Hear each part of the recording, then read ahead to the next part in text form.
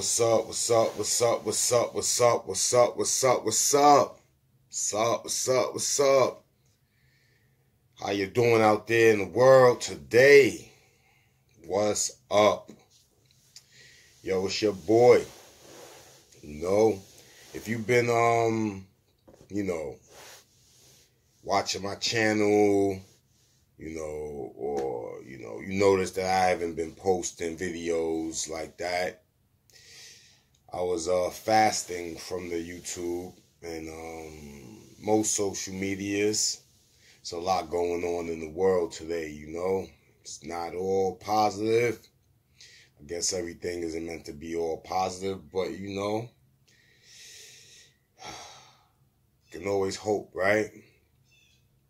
So, you know, what's going on? What's going on? I hope everybody is okay.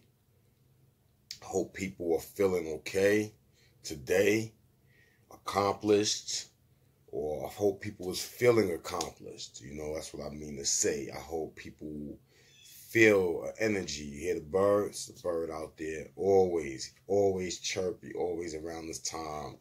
It be killing me because sometimes I be breaking night. Well, a lot of times I do, right? And it's like, when right when I get ready to go to bed, boom, there he go. You know what I'm saying? But I take that as a blessing. That's him. That's the nature, you know, playing this beautiful music. But today, I want to talk about, um, you know, childhood and like how it was to be a child. You know, I feel like the inter the the the, the electronics is stifling though it's advancing at the same time i feel like it's stifling the children's growth. Now here's why. When i was young when a lot of the kids around me was young you know what i'm saying? This was in the 80s you know what i'm saying? It was like it was different. Like it had a lot of ran down lots, empty lots, a lot of broken glass all over places, streets all over the place, you know what I'm saying? Crack valves when I was in school, all in the schoolyard, just litter in the schoolyard, you know what I'm saying? Blue tops, red tops, yellow tops, that type of stuff, that energy, you feel me? It's back in the days. I would say it's back in the days now because now we're in 2020 and it seems like what, like almost 40 years ago. You know what I'm saying? That's crazy. But anyhow, right?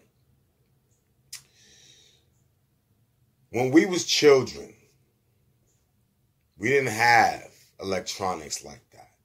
You know, the computer came out, the first big computer, I believe, don't quote me, somewhere in the 80s. Could have been the 70s, the prototype, but let's say the 80s. The first computer was as big as the room or a room, like a wall, right?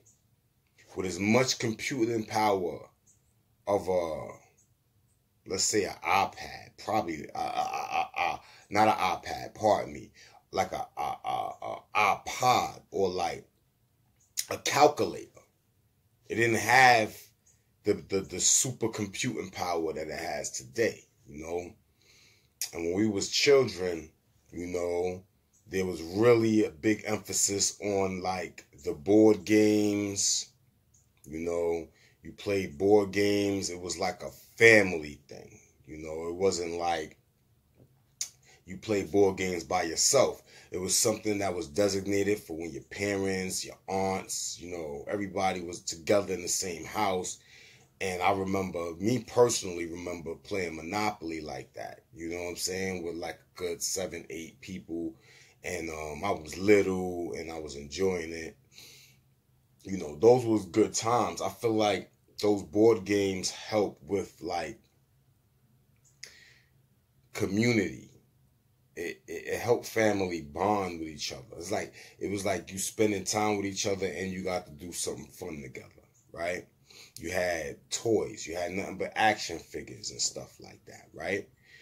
you know, or you was able to go outside. Now, the thing with the going outside and, you know, playing with the toys, children back in the 80s, and this is just from my experience, you know, we had to use our imagination a lot.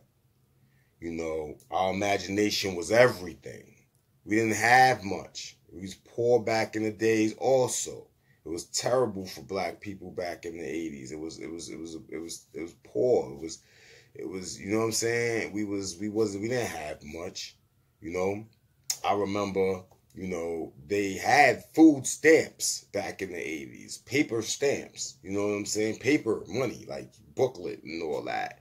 And I remember, you know what I'm saying, when you instead of you going to the store like you do now and you use your card, you know, your EBT card or whatever, you know, I don't have one, but use that, you know what I'm saying? You can just get whatever food you want. Back then, back then, it was like they gave you food before the like the stamps. I remember this. I remember it was like powdered milk. It was like the super block of cheese. It, you know, like bread, and I don't really remember too much, but I remember the milk because it was like powdered milk, and the taste of it was like whoa, you know what I'm saying? And then it was the cheese. But long story. Anyhow, right? So imagination went a long way with children back in the days. You know what I'm saying? It it was like you go outside, you had to play. You know, you had certain amount of games. You had um you know, uh, Scully, you know, with the with the with the with the tops of the juice bottles. You just get it, you put the wax in it, you know what I'm saying? And you just flick it, boop, boop, boop, boop, boop. You know what I'm saying? Now you got a new game, you know what I'm saying? You draw the little Scully box with the little, you know what I'm saying, the squares in it and all that. And you shooting you shooting the Scullys. They had marbles, you know what I'm saying? Um, you know, tag, freeze tag, you know, um, and then things that you had to come up with, like, you know, what one the games back then was like cops and robbers, and you know, that game I think was by design not really too good because it kind of, you know, look at it today, you know what I'm saying? They look at black people like, like if they playing cops and robbers, but you know, imagination, imagination, imagination, imagination. You feel me? It gave you a way to use your brain, like to think, to like, yo, we don't have it, so let's create something. Yo, you know, when you was a child, if you wasn't playing none of those games, you would sit on the stoop. Or you would sit in your yard, you know, you was little. You know, I was little. I wasn't out there doing crazy things when I was little at all. Like not even at all, not even a little bit. You know what I'm saying? To be honest with you. You know what I'm saying? I wasn't in the streets when I was little like that. I mean I would ride my bike you know what I'm saying? You know, with parental supervision, of course, man. You know what I'm saying? Things a little different now, but you know, you be on your stoop, whatever you play. Um, you know, um, that's my car, my car. Um, kids got together, they play house. You know what I'm saying? All this imagination things, based games where you was able, and and and believe it or not, the children back then had a blast. It was the best thing ever. We used to make obstacle courses over the things in the house and play, and jump around and jump from bed to bed. You can't touch the floor. You act like the floor was lava. You had to like jump on things to get around the room and, you know, or whatever. You know what I'm saying? These games or you know were, were were were phenomenal or you had your toys and you had to come up with a whole concept of what you playing with what's going on. A whole world. Me and my cousin used to play like with mad I used to have mad GI Joes. We used to just take GI Joes. I had Thundercats. I had like GI Joe planes all types of stuff like that. We used to sit together and we used to create worlds. We used to set people up here, there, there, give them cars, you know what I'm saying, create buildings out of like the bed and out of the, the tables and such and such and so and so. And we would just imagine a whole world and we would play with them toys forever. Like it, it was endless. That was our video game back in the day. So fast forward into today. Now you got children with the tablets, with the cell phones. You know what I'm saying? And what I believe is happening is now that you get to just kind of, they're watching other people do things, right? Instead of coming up with things to do themselves. You know what I'm saying? I feel like they're kind of like killing the imagination, you know, in children. You know what I'm saying? Video games don't really allow you to have an imagination more so than a wondrous, like wonder, like wow, whoa, wow. You know, you play a game for the first time, you know what I'm saying? And you get to experience that game for the first time. But it's somebody else imagined that game. You see what I'm saying? So you're playing somebody else's imagination, you know? And I feel like technology nowadays is like killing the imagination in the children. Now, imagination is important because I mean when you comes when it comes to dreams or when it comes to ideas, when it comes to you know creations and stuff and, and things of this uh, things like that. You know what I'm saying? It's like you you you it's hard to do it for children nowadays. You know what I'm saying? Like if you don't have your phone, if you don't have your tablet, or you know what I'm saying, children don't know what to do no more. It's not like they can have have you know some kids still do it. You know, I mean it's inherited. Some kids, I believe. You know what I mean to have a have a strong imagination. You know, um, but not like how we was back in the days when we really didn't have it and all we had was our imagination. You know what I'm saying? To play with things or whatever we had, or to make the best out of things, whatever we could get our hands on. You know? And I feel like nowadays the technology is is is is is not really dumbing them down per se, but I feel like it's it's it's it's, it's hindering their ability to create. It's like now, instead of you being uh, a leader, doing what you want to do, but in a way where it's based off of how you think, or, you know what I'm saying, as a child, to entertain yourself. Now, if a child doesn't have the YouTube to look at, or you know, children can swipe, or you know, watch little cartoons on the T on the actual cell phone and such, you know, or whatever, tablet, laptop, desktop, whatever, you know. I feel like they don't have the same ability. Now they're just being fed ideas from everything else. You know, when we was little, it was like Sesame Street, Romper Room, uh, Reading Rainbow, uh, Where is Carmen Sandiego? You know, um, those type of shows. Uh, uh, uh, what's the one with the lady that passed away with the lamb, lamb chopping friends? Like those were what we used to watch. So it was like, okay, you know, it was more interactive thing to watch. It was more learning, you know what I'm saying? And then after that was over, you had to go, you know, either go outside and, you know, get into your games like that or you went and got with your toys or you know what I'm saying and got like that. You know, this is personally my experience what I've seen, you know what I'm saying?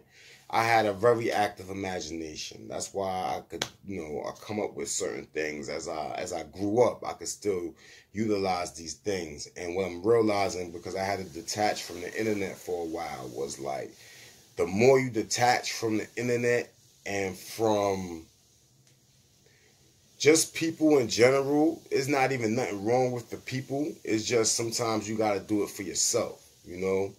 Because what happens is like you are bombarded with ideas every day and from all angles. And it's hard to decipher your own original ideas and thoughts and such and so from the ones that's been implanted without even knowing because people don't even realize they do these things maybe some people do. But it takes away from your imagination nonetheless you know? And i actually got to be able to start to hear the voice in me like the my actual thoughts like yo what makes you happy? Like how do you feel when you hear that? Or when you do this or when you see this? Okay let's create this. Let's get let's do that. And it was more so um, coming from what after I cut out everything, it, it was I can I can tell like yo, a lot of things I was doing was based on other people, you know, in my head without me realizing it. And children are that way because they they are influential. So when you get these internets and these, you know, these new new things where instead of you actually having to come up with a whole concept like an imaginary world or or or you know a imaginary scenario in order to have fun with you or your friends you know you get together you be like yo let's do this we're gonna imagine this this that that and everybody was with it because you know it, it, that's all we really had. You couldn't bring your toys outside, so you wouldn't be playing with your toys outside. Some kids did, you know what I'm saying? Was playing all in the dirt with the toys, you know, get that real nature kind of feel because you know that's how you know we felt. We watched the cartoon and we get the toys and we'd be playing with the toys and boom, boom, boom, boom. So what I'm saying is like nowadays we don't have we don't have that real imaginative spirit when you're being told. See, imagination leads to critical thinking in the future, like your own self thought, like, you know, thinking outside the box, you know what I'm saying? Um, um, um, um, critical problem solving skills, you know, comes from imagination because in your imagination, you get to play out scenarios you know what I'm saying? And you get to, as you get older, you realize you can critically think based on, you know, examples that was set by people before you or just people in your in your age group or you know those sort of natures imagination leads to critical thinking and thinking outside the box so when you have a computer you know, where you can get 24 7 access to everything, you know, like certain shows, certain this. You could binge watch this, you could do that. You know, if you don't already have these critical thinking skills when you're watching it, when you being you know, it's like worse programming. Back in the day, TV's programming only had a few channels. In the 80s, we it was only like 11 channels. And then you had channel 13, channel 25. You know, you might have had like channel 40 something, which probably was a Spanish channel. You know, everybody that lived back in this day, my age, because I was little when this time, but anybody that was older, they they they're gonna relate to what I'm talking about. You know what I'm saying? Um, we had to put the antenna, you know what I'm saying, put the hanger in the TV, you know what I'm saying, get the get the fuzz black and white. It wasn't no real color, it wasn't no real stimulants. You know what I'm saying? To really bow. Nowadays, like the programming on television is retarded. 24 hours, cartoon channels, 24 hour this. We had to wake up on one day, Saturday, Saturday, or to watch cartoons basically all morning and then it was over. And then on the weekdays it was only it was only early, early, early, early in the morning, like before you was you getting ready for school though, you know, you know what I mean? You wasn't watching that. And then it was like um from three o'clock to five o'clock. You had four cartoons, so it was that was like our like prime time time. Like we that's our what we like. Yo, this cartoon coming on at this time, this time on this channel. You know the He Mans, the Thundercats. You know what I'm saying? The GI Joe cartoons, the Bionic Six cartoons. A lot of people don't remember those. You know what I'm saying? The um uh, Silverhawk cartoons. You know what I'm saying? Um, um, um, the you know those type of shows.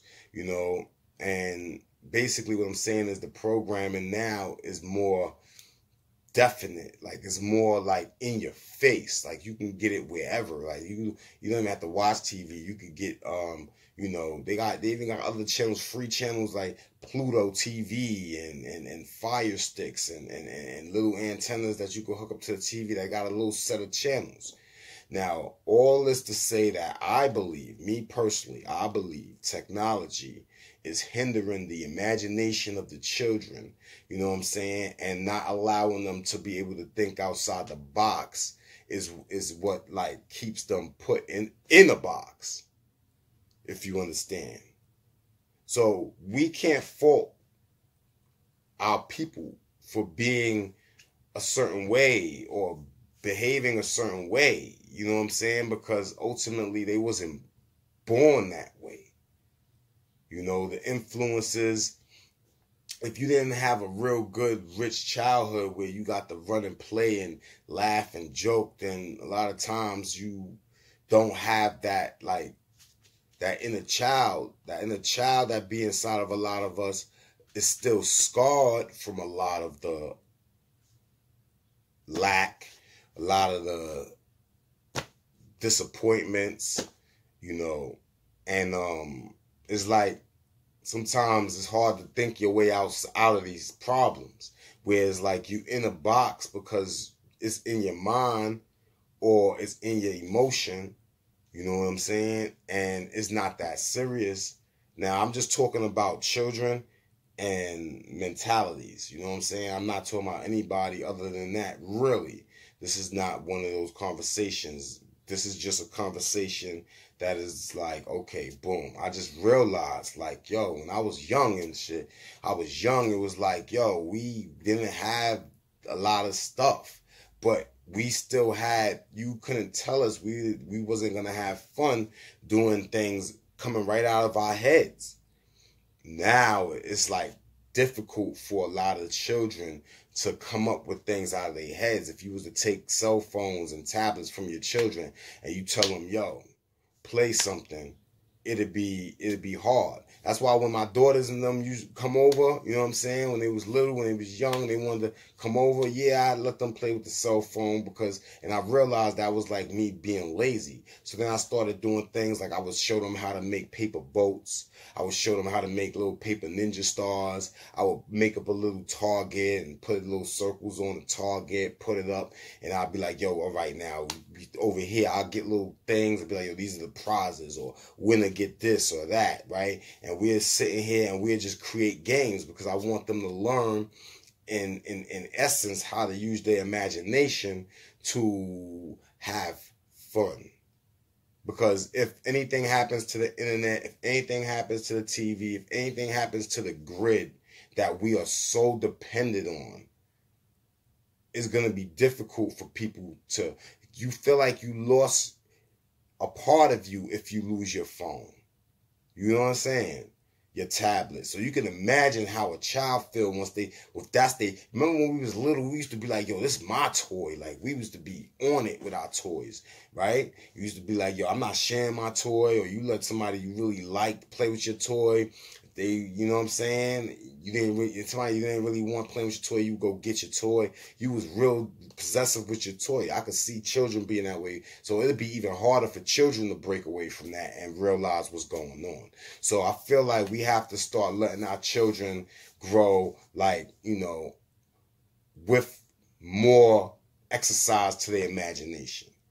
We got to start cutting off some of the tablets and the iPhones. Now it's hard now because you got to do homeschooling. They're gonna be sitting in front of the computer the whole time, and it's not gonna be what they want to do. So after they finish that, you know what I'm saying, they're gonna want to go and do what they want to do on that same device.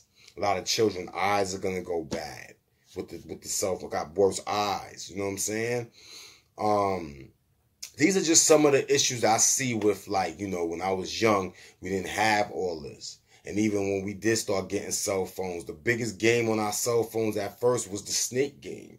And it was like some crazy looking game. It didn't even look official like that. You know what I'm saying? And then the sidekicks came out and they had like the asteroid game. And that game was fun. I ain't gonna hold you. That game was good. You know, but this is as we got older. But main premise of this conversation is to state that imagination is important. It's a spiritual gift. It's something that you can use because what people fail to realize is your imagination is actually something real. It's just light in weight. It's light. It's a thought form, but it has a weight and it has a ideal to it. You see what I'm saying? You can use these things. You know what I'm saying? Like it's like it's like a reality that just hasn't manifested itself, if that makes sense. So to delve into your imagination is able you was teaching yourself how to hold thoughts in your mind, ideas, scenarios, and create these things. And that's just on a deeper level. But I'm not gonna go there right now. This this one conversation is just all about the children and the difference between growing up in the 80s versus growing up now. You know what I'm saying? In a world where you had to use your imagination or you was just going to be bored. Like seriously bored. To a time now where you don't really have to use your imagination. It's like the whole device does it for you. If you ever notice sometimes if a person, you know when a person has an imagination, if they could search the way they search things. You know what I'm saying? If they just scrolling up and down the um, you know, the home page on YouTube. This is just an example. It's not really imagination. You're just looking to see what other people put up. Like, okay, let me watch this. This is interesting, which is cool too. But then you have certain people that's like, okay, let me look for this. Let me look for that. The internet main's purpose is so that you can see things that you may not be able to see at this present moment. Like, find out things that's going on in the world where you might not go you know, like where you might not end up at, or see animals that you haven't known to exist, or see animals just in their habitat. Like you could just jump around. So the internet is is it's like how you use it. You know what I'm saying? But still in all, I feel like imagination is being slowly but surely killed by dictatorship, by like what we want you to think. We'll give you a few narratives and you can put this in your head instead of you coming up with your own games. Because if we was children now and back then that had that same idea, we can create all kinds of games. We could have created board games. Skelly could have been a created board game. Nobody put Skelly on a board game. You know what I'm saying? Because it was a street game, but still in all, that's a, that could be a board game. Nobody created, nobody put a Skelly board in a box and say, "Yo, here these tops." You know what I'm saying? Now that's just free game right there, but you know, I just that just popped up in my mind. That's something that I'm thinking like, damn, I should have held that back. I shouldn't have said nothing about that. But that's just a thought. You know what I'm saying? So it's your boy. You know what I'm saying? Names, titles, all that stuff is really irrelevant. You know what I'm saying? I do music sometimes independently. I don't really care about the money that comes from it because I'm not making money, but the money controls the I feel the artist. So I don't really care for it because then I could just talk about whatever. I could talk about God or whatever. You know what I'm saying? And um, speaking of God, before I go, I want to say something. I want to um my paint pans. I'll be painting. Hold on.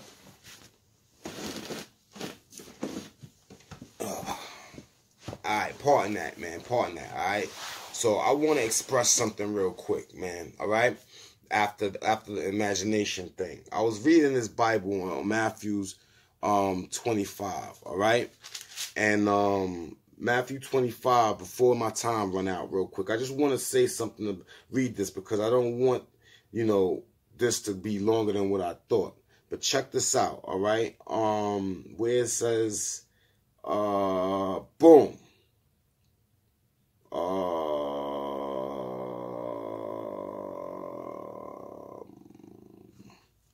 damn. So this is this. I don't know, man. Um.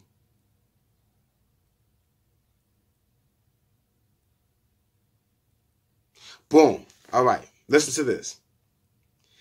Then shall the king say unto them on his right hand, Come, ye blessed of my father, inherit the kingdom, prepare for you for the foundation of the world, right? For I was a hungered and you gave me meat. I was hungry. I was thirsty and ye gave me drink. I was a stranger and ye took me in. Naked and ye clothed me. I was sick and ye visited me. I was in prison and ye came unto me. Then shall the righteous answer him, saying, Lord, when when saw we thee a hungered and fed thee, or thirsty and gave thee drink? When saw we thee a stranger and took thee in, or naked and clothed thee? Or when saw we thee sick or in prison and came unto thee? And the king said, Shall and the king shall answer and say unto them, Ver, Verily, I say unto you, inasmuch as ye have done it unto one of the least of these my brethren, ye have done it unto me. All right?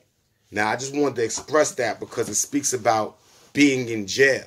A lot of people think like, you know, first of all, these are virtues and these are principles and these are ideals and things to help you live a better life type stuff, basically, too. You know what I'm saying? But it speaks about prison. A lot of people that talk about, you know, Christ in a certain in, in from this book forget all about that part. Like Jesus Christ in this book or Yeshua or the idea of these persons because it wasn't really people but it was a it was an idea. It was something that came from the inside of a person. And you know what I'm saying?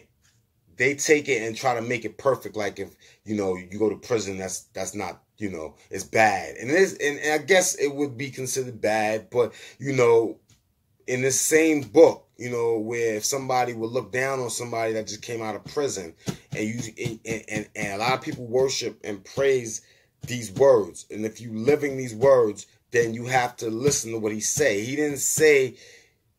He expressed it as okay. When I was like this, when I was like that, because it's the red letters. When I was like this, when I was like that, when I was like that, you helped me, right?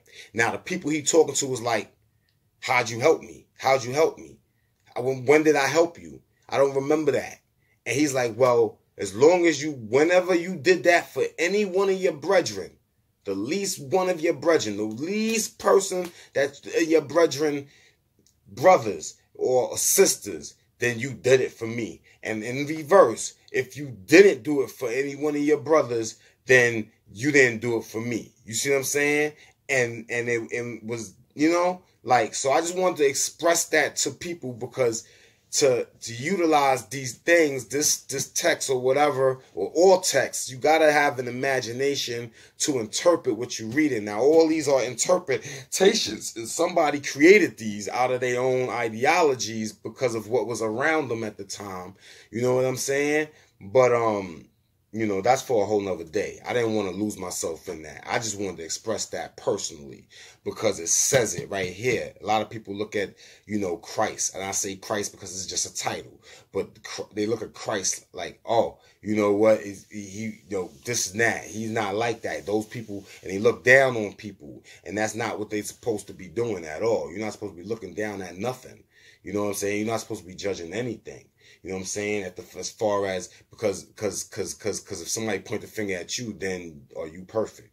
Are you are you flawless and blameless within the matter of society or in the matter of just God? Period. You know, because it's and it's deeper than what I just read. But I just need to show people that you can use these these words to create a better outlook of things in society